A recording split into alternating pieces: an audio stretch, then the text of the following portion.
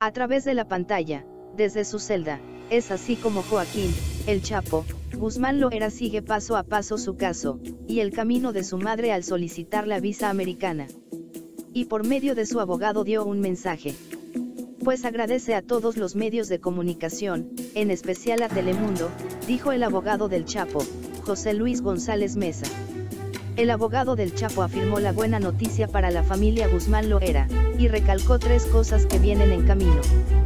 Primero, cuando se entreguen las visas por parte de la Embajada Americana, después la salida de la familia, y ya en Estados Unidos, la conferencia de prensa que darán ellas, será en Nueva York, dijo el abogado.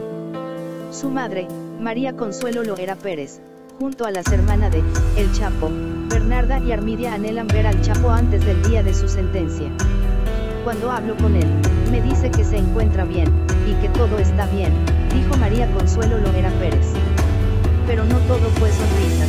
Su abogado también informó sobre una demanda en contra del expresidente de México, Enrique Peña Nieto, en contra del exsecretario de Gobernación, y el exsecretario de Relaciones Exteriores por los delitos de secuestro agravado, abuso de autoridad, y lo que resulte no, dijo el representante legal, quien asegura que hubo mano negra por parte de Peña Nieto, y sus empleados, durante el arreglo de extradición del narcotraficante.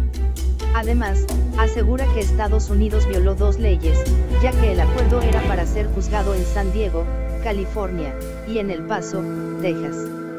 Cuando Peña Nieto le brinda la cabeza de El Chapo, en bandeja de plata, un día antes de tomar posesión el presidente Trump, cometen errores, porque en lugar de enviarlos a donde se había acordado el gobierno de México con Estados Unidos, se envía a Nueva York.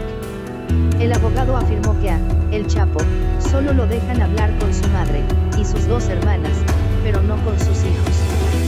Se espera que sea sentenciado este próximo 25 de junio.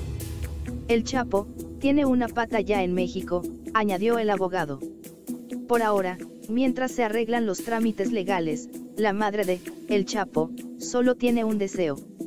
Que se lo traigan para acá, y le den su libertad, expresó María Consuelo Loera Pérez. Más información en el blog del narco.com.